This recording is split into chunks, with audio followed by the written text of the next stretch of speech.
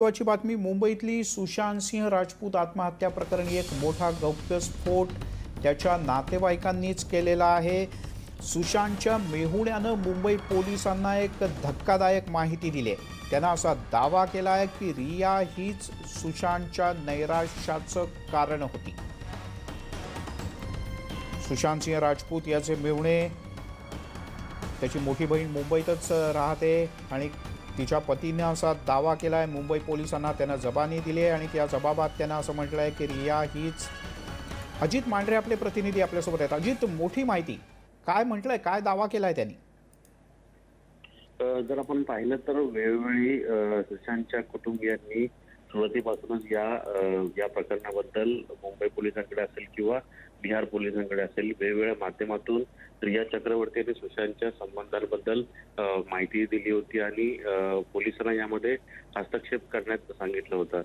सुशांतने चौदा जूनला आत्महत्या केली असली तरी फेब्रुवारी महिन्याच्या एकोणीस तारखेपासून ते पंचवीस तारखेपर्यंत झोन नऊचे म्हणजे तत्कालीन जे बँडाचे डीसीपी होते परमजीत सिंग दह्या यांच्या संपर्कामध्ये I P S O P Singh जे सुशांतचे त्या बहिणीचे मिस्टर आहेत पती आहेत त्यांना या त्यांनी याबाबत सतत पोलिसांच्या संपर्कात राहून रिया चक्रवर्ती सुशांतच्या संपूर्ण बिझनेसवरती तिच्या संपूर्ण व्यवहारावरती कशा पद्धतीने टेक ओव्हर करते आणि फॅमिलीला पासून त्याच्या फॅमिलीला कसं लांब करते त्याच्या आयुष्यामध्ये ती आल्यामुळे तो खूप निराशात गेलेला आहे त्याची अधोगती झालेली आहे.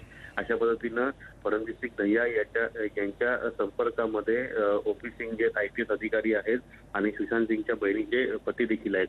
ते वारंवार सांगत होते त्यामध्ये मुंबई पोलिसांनी लक्ष घालावं यामध्ये जर तुम्ही त्या ठिकाणी जाऊन काही केलं तर आता जे सुशांतचे कुटुंबीय ते दावा करतायत की जर त्याच वेळी पोलिसांनी या प्रकरणामध्ये हस्तक्षेप केला असता तर कदाचित सुशांत आज आपल्या जिवंत असता कारण का फक्त सुशांत फक्त डीसीपी परमवीर सिंग दह्या नाही तर सुशांतचे जे मित्र होते मॅनेजर होते सिद्धार्थ पिठाने असेल आणि इतर जे मॅनेजर असतील या सर्वांशीच I P S O P Singh जे आहेत ते संपर्कात होते. त्यांना वेळोवेळी सुशांतच्या या संपूर्ण प्रकरणाबाबत ते माहिती देत होते आणि माहिती घेत होते. एक प्रश्न असा आहे की जर का जर का त्याच्या जवळच्या नातेवाईकांना ही गोष्ट माहीत होती की तो दडपणा खालती आहे किंवा त्याला रिया अन्य लोकांपासून तोडते आहे याबद्दल त्यांनी औपचारिकपणे लिखित स्वरूपात अनौपचारिकपणे एखादी गोष्ट एखाद्या पोलीस अधिकाऱ्याला सांगणं ही वेगळी गोष्ट असते कारण तिथे अधिकृतपणे तपास करणं चौकशी होणं हा सगळा भाग असतो. अशी कधी सांगितली होती का? जर का असेल सांगितली तर त्याची चौकशी का नाही झाली? आणि नसेल सांगितली तर का नाही सांगितली?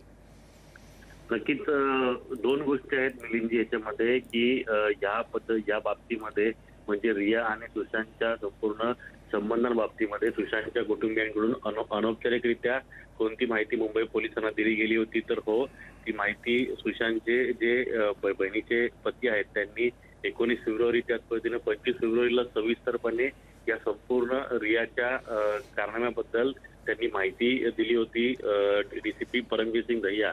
हे तत्कालीन डीसीपी होते. रिया कशा पद्धतीने सुशांतच्या सगळ्या जवळच्या माणसांना लांब करते त्याच्याबरोबर जे त्याचे मॅनेजर असतील किंवा जुने सगळे व्यक्ती असतील त्या सर्वांना ती कामावरून काढून टाकते आणि रियाचे असलेले खास माणसं जे आहेत त्या खास माणसांना ती त्या ठिकाणी कामाला ठेवते. एवढंच नाही तर सुशांत जेव्हा निराशेमध्ये गेला होता त्यावेळी मुंबई एअरपोर्टच्या बाजूला त्या ठिकाणी एक रिसॉर्ट आहे. त्या रिसॉर्टमध्ये त्या ठिकाणी महिनाभर रिया सुशांत आणि रियाचे आई वडील आणि भाऊ हे पाच ते सहा जण एक महिना तब्बल या रिसॉर्टमध्ये राहिले होते. त्या ठिकाणी त्यांनी काय केले? पूजेच्या पूजेचं कारण सांगून ते त्या ठिकाणी गेले होते.